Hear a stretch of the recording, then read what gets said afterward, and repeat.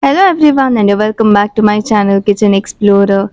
In today's video, let's see a new recipe of homemade creamy kulfi by using 3 ingredients. It tastes very delicious and it's very easy to prepare. So if you like this recipe, do like, share and subscribe my channel and do not forget to smash the bell icon button to get the notification.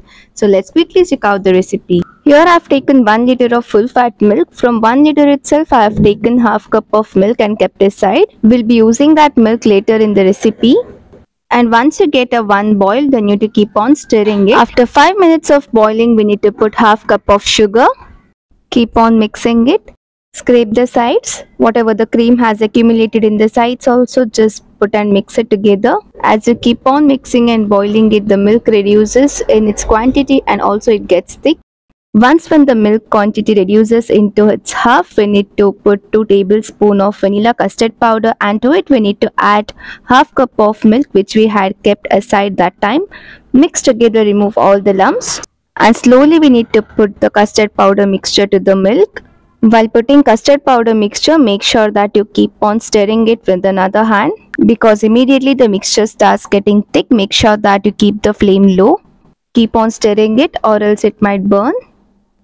Now put dry fruits. Here I have used cashew nuts, pistachios and almonds. If you don't want you can skip dry fruits.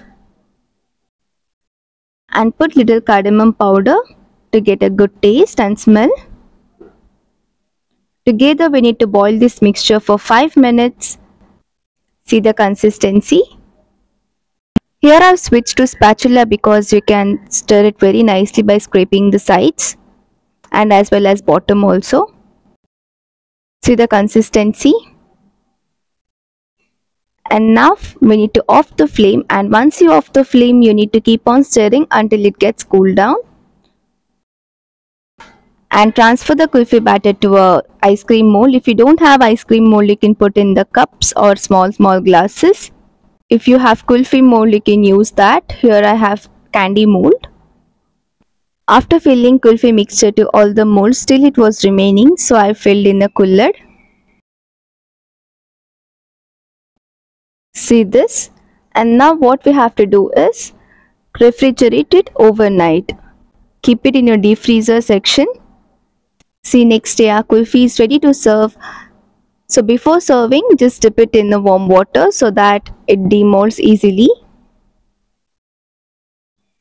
See how yummy and tasty it looks.